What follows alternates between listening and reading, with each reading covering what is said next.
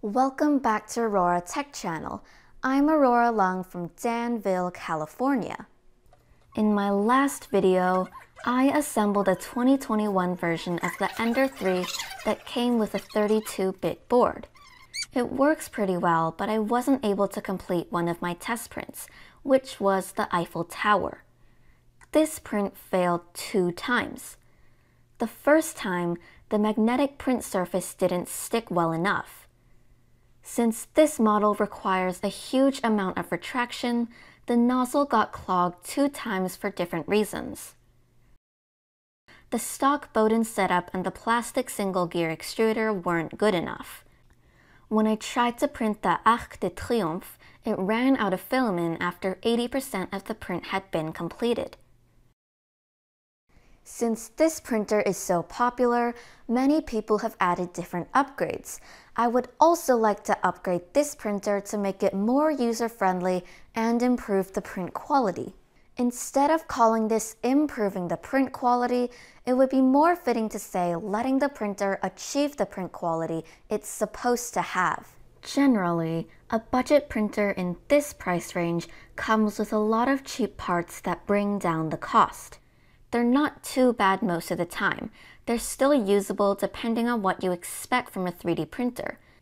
But I would like to replace some stock parts that may ruin our prints.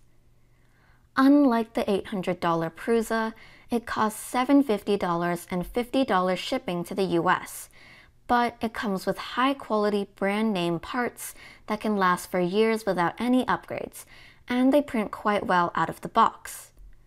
I will also make a few videos to review the Prusa MK3S Plus in the coming weeks. In this video, I will spend $100 to start with some simple upgrades that don't require firmware change. These are the items I'm going to add. 1. Spring steel sheet print surface. I have another one with a double-sided print surface. The back is coated with powder, which doesn't stick as well as the PEI sheet when printing PLA, but it's more suitable for printing PETG. When I use the stock magnetic surface, I have to print at 25 to 30 millimeters per second for the first layer, since it does not stick as well when printing quickly. But on this PEI surface, I can print at 50 millimeters per second for the first layer without any problems you will also get the same flat surface at the bottom of your print. There are quite a lot of different brands out there, but I bought one from Creality and two without brands. I can't see any noticeable differences between them. A double-sided spring steel sheet like this costs $35, and a single-sided sheet will cost 5 to $10 less. 2. X and Y belt tensioner. Since the printer came with a simple belt tensioner, you can still adjust the belt tension using a screwdriver, but obviously that's not the best way. If you want an easier way to do this or to adjust it while the printer is printing, you need a set of X and Y belt tensioners. I bought one set of these metal tensioners from Creality. They cost $23. 3. Capricorn PTFE tube. The Bowden tube that came with the printer is cheap. When you print at 240 degrees or higher, it will melt the inside of the heater block and clog the nozzle. The Capricorn PTFE tube is much better in quality, and I can print at 260 degrees for a long period of time without issues. If you don't have a PTFE tube cutter, you can get a bundle to make sure the cut is perfectly straight unlike the one that came with this printer. The factory didn't cut it straight, so there is a gap between the tube and the nozzle. This causes the nozzle to clog. 4. Bed leveling spring. The stock spring is too loose, so it moves while the printer is printing. We need to replace them with some better quality ones. We can get a pack of 20 for $9. 5 metal dual gear extruder. The plastic extruder that came with the printer isn't very durable, so it will crack sooner or later. The single gear design doesn't grip the filament as well as a double gear extruder like the one used for the CR10S Pro V2. A similar one can easily be found for around $20. It looks the same, but the only difference is that the one from the CR10S Pro V2 uses Bondtech gears, which should last longer than this clone. It should still work much better than the stock plastic one, and we'll compare the print quality later on. 6. Filament Guide I would like to print some free upgrades. First, we will print a filament guide as the filament roll is at the top and the angle for feeding in the filament to the extruder is very steep. This requires the extruder to pull hard to feed in filament. 7. Filament Roller I would also like to print a filament roller to replace the stock one. We will add two bearings so the filament roller moves smoothly. These are just skateboard bearings, so they are very cheap. You can get a pack of 10 or 20 for a few dollars. This upgrade could also improve the feeding of filament. These are the items we need to install to this printer today. Let's start with the simple ones. For the print surface, just replace the existing magnetic print surface and you're good to go. Next, we will install our 3D printed upgrades.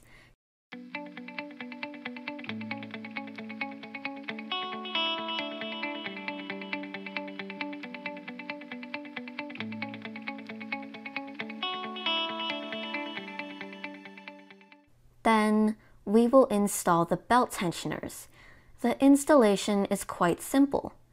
I will start with the x-axis. Just remove the existing tensioner from the x-axis, unlock the belt from the print head, attach the new tensioner, let the belt go around it and lock it back at the print head. The y-axis is pretty much the same remove the existing tensioner. Removing the heated bed first will make it easier for us to unlock the belt, since we also need to replace the spring later on.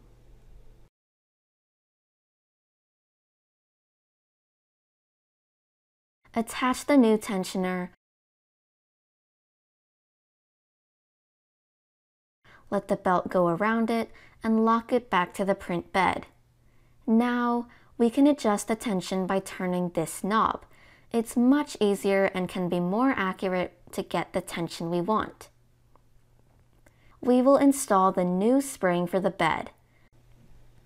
Use some tape to secure the springs. It will make it easier for us to put it back. Remove the tape once the screws are aligned.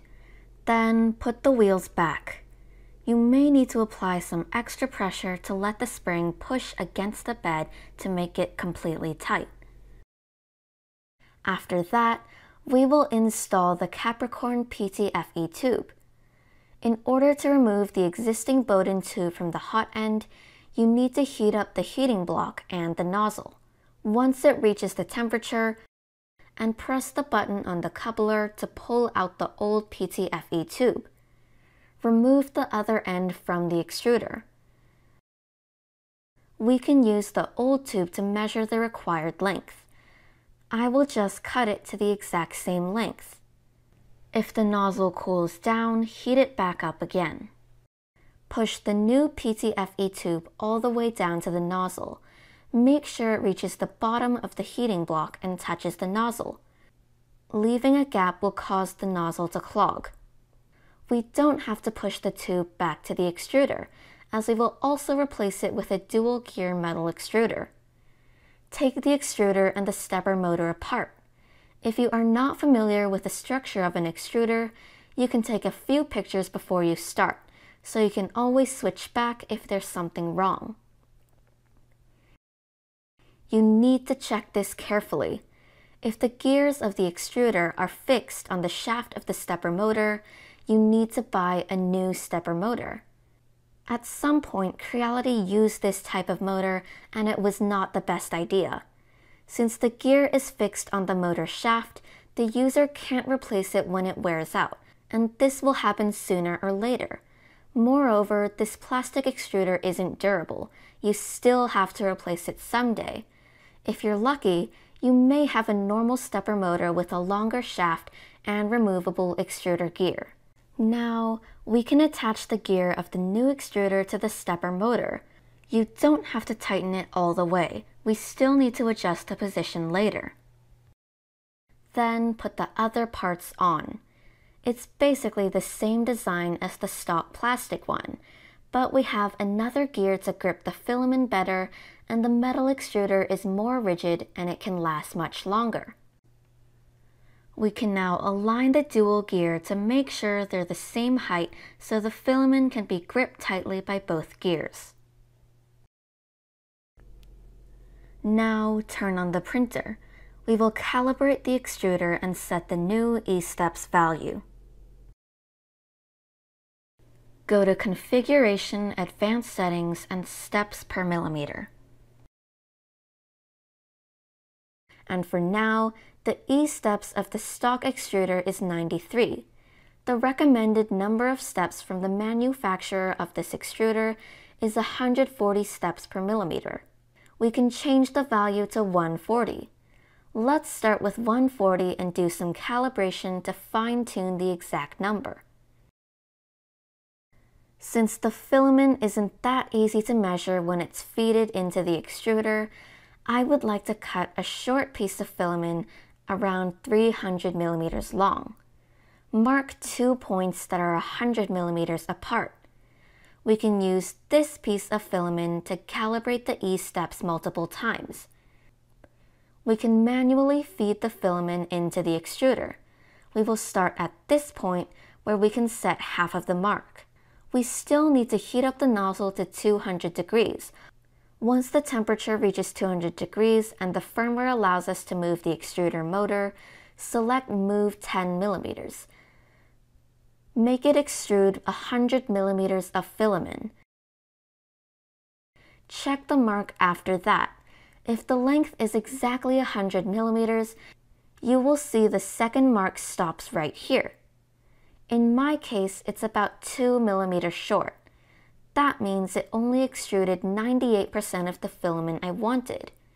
In this case, we can do 140 divided by 0.98, which is around 143. Set this as the new E-steps value. we can repeat the process to confirm that the gear of the extruder is extruding the exact right amount of filament. It looks perfectly fine. If there's no clogging inside the hot end and nozzle, we're all set. Now, we need to level the bed again, as the thickness of the print surface is different. Do the same paper test and level all four corners and the center.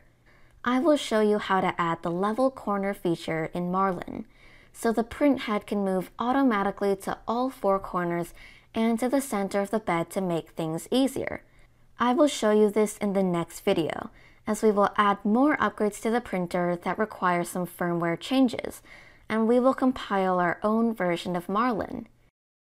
Okay, let's do a simple test print and see if the extruder is working fine. It seems the number 143 is right on, I would say the amount of filament extruded was just right. After all these upgrades are done, we are going to redo the Eiffel Tower test print. We will use the exact same settings as last time. Let's see if the printer can finish this print with all the new upgrades including a better quality PTFE tube and extruder, which could add some improvements on filament retraction. This time, feeding the filament in is much easier.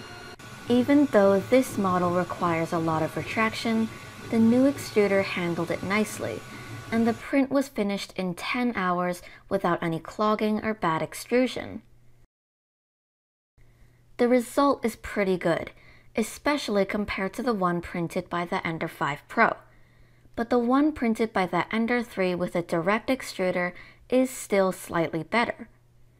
This is the advantage of a direct extruder, but the dual gear extruder with the Capricorn Bowden tube is still doing a pretty good job.